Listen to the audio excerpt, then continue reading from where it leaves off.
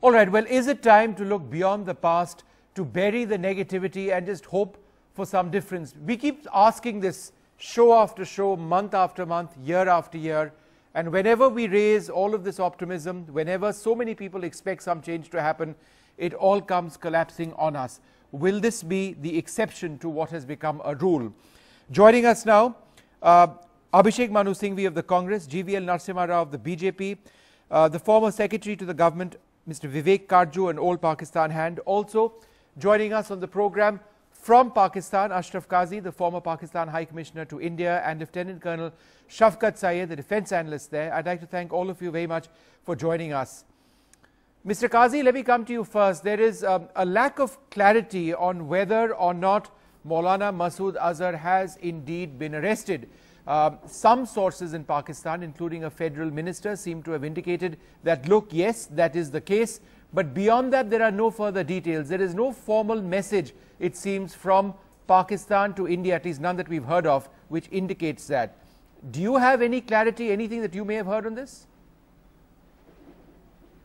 Well, to all um, intents and purposes, uh, the information I have is that he is indeed uh, under detention, whether you call it protective custody or uh, he's not formally arrested because once you're arrested, you've got to be produced before a magistrate uh, within a certain time, and for that you then have to charge him, and for that you need specific evidence. So it's a it's a first step. And I think today, as you, as you mentioned earlier, the national security advisors are in touch with each other, and I'm quite sure they have a complete clarity on, on what the position is with respect to him.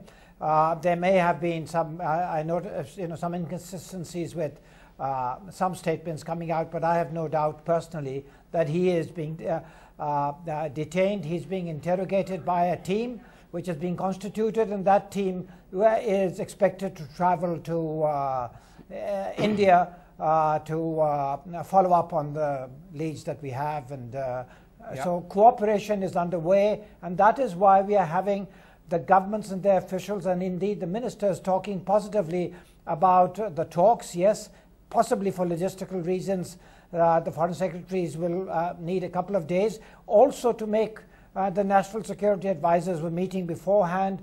So I, uh, I imagine I'm looking so you, forward you, you are optimistic, Ambassador. You, you are optimistic of the process so far. I'm optimistic at yeah. this phase that yes, the foreign secretaries will meet.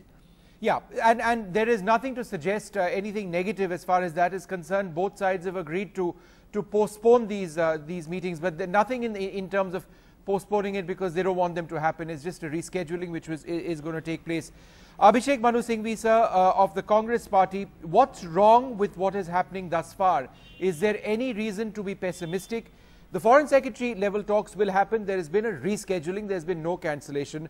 The national security advisors are speaking with each other.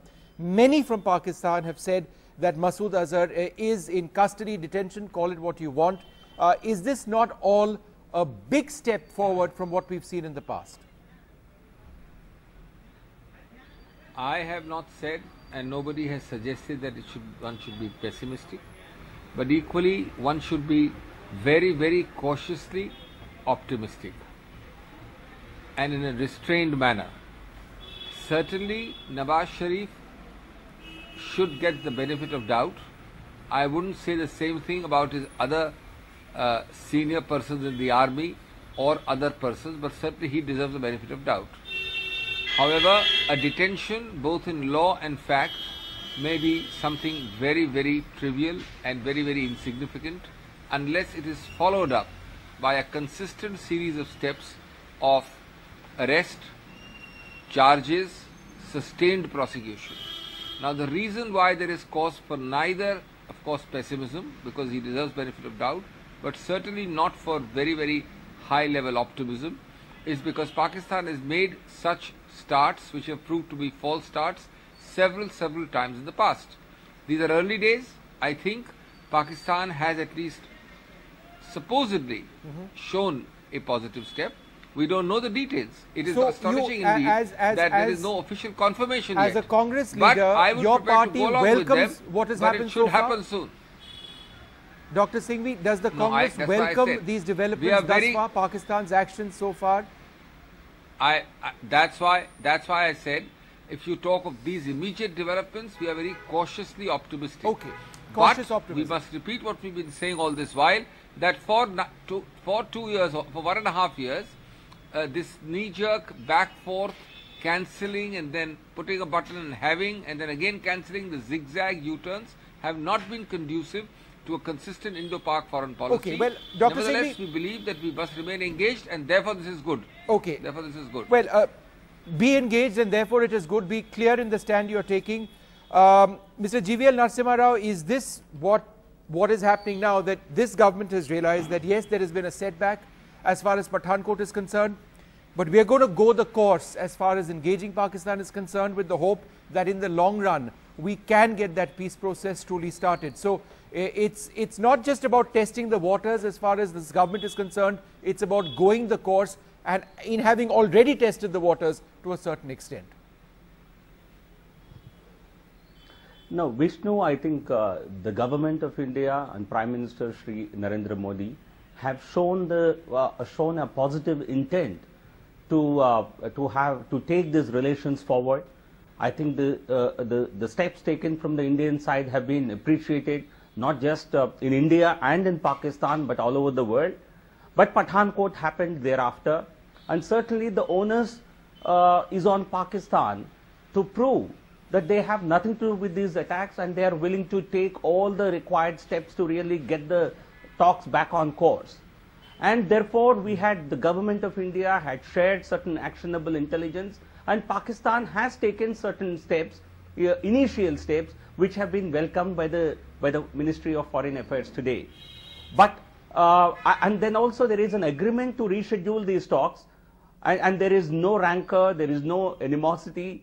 But certainly the follow-up steps have to be taken by Pakistan. Okay. It's not good enough to take initial steps, Okay. but follow-up action is equally important, and we want to see not just the intent, but also the final outcome of this action All right. in, in a very concrete manner, which requires some time. And government of India has certainly, therefore, wanted to uh, uh, get these talks rescheduled, and Pakistan has accepted, uh, and it's time for Pakistan to really make that rapid progress in the investigations and prosecution of uh, the perpetrators of the crime. Okay, The, let me just go big across to- difference that you to- see I get now compared to the past, just Yeah. one more sentence, compared to the past, is Pakistan has made certainly in terms of the in terms of the commitments they have made, they have not been in denial this time. They have made specific commitments and they have begun to take action. Okay, so let's so see, how does it translate into no, no, concrete Mr. Rao, I want to go across It's to another panelist. We've for. got plenty of time. I'll come back to you.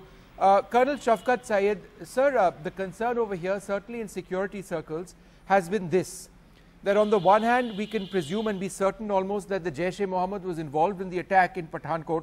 But the larger question arises about who is training these terrorists who are coming across. The skill of these soldiers is at the level of regular infantry at the very least. Uh, they, they demonstrate military skills. Uh, they demonstrate skills in, in, in good communication when they're operating. They can penetrate highly defended areas as well. Therefore, the question is this, sir. Is there not a larger concern, or should India not have a larger concern that your security establishment, one way or the other, is associated with at least training these terrorists? I I don't know how you look at the things, but if you go logically, you would realize that it does not suit Pakistan to escalate with India.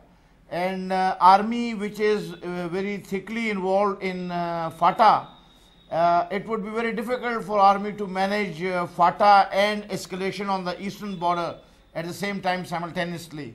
So I think the any sane person with very uh, minimum of logic and, and thinking ability would not go for something like you presume that Pakistan has done in Pathankot. No, but sir, would you therefore, busy. would Colonel Syed, would you therefore say that the Afghan police chief uh, of, of one of their provinces was essentially insane when he made the suggestion that the attack which took place at Mazar-e Sharif was done by, by Pa- Pakistani security personnel, given the level of training that they had, the motivation they had, the skills that they had, the weaponry that they had. Forget about India. We're also speaking about Afghans. Okay. Now, uh, what would you tell me that how is this ISIS? Is it being also trained by Pakistan army, which is uh, fighting not No, sir, only this the ISIS, Iraqi sir. and Syrian government, This was not but it ISIS. is fighting Russians, Americans, and everybody.